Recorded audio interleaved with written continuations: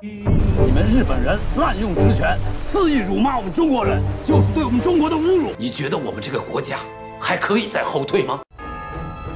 这个人极具人格魅力，将来定能招揽有志之士为其做事。所有觉悟，归根结底就是思想的觉悟，道德理念的觉悟。这最后的觉悟，说到底，人的觉悟。